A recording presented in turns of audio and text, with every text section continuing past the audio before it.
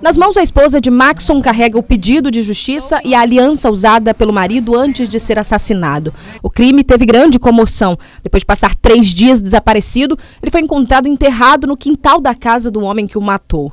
Hoje, familiares e amigos vieram protestar contra a soltura do assassino confesso de Maxon.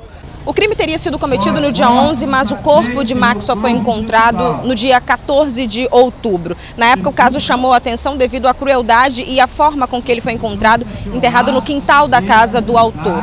Menos de um mês depois, a saída do assassino confesso de Max foi autorizada pela Justiça. Nós pedimos a, que a Justiça do Maranhão tome as providências e volte a rever esse caso porque ainda não está nem com um mês que se aconteceu esse fato. E é uma injustiça, é uma vergonha para a justiça do Maranhão. O protesto aconteceu na Praça do Bacanga, região onde mora a família da vítima. A lembrança do filho deixou a dona Antônia emocionada. Eu não gostaria de estar neste momento aqui fazendo isso.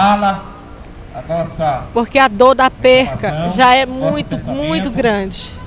De perder o meu único filho uma pessoa que nunca deu trabalho na vida para nós, onde passou deixou um grande legado.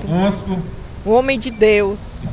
De repente é morto brutalmente pelo um assassino frio e calculista. E agora a justiça coloca ele em liberdade.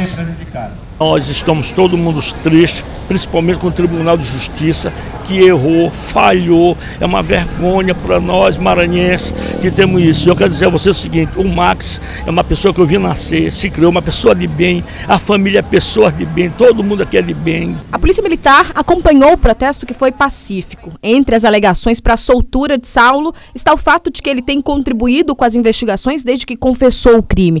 Segundo a defesa dele, ele não oferece riscos à investigação e não tem antecedentes criminais. Não pode uma pessoa matar alguém, confessar e menos de um mês estar solto. Nós precisamos de resposta. Ou então, se o tribunal não resolver, nós vamos acampar lá em frente ao Tribunal de Justiça até que o seu presidente ou os desembargadores reúnam-se e revogam essa prisão que para nós e a sociedade é de forma negra.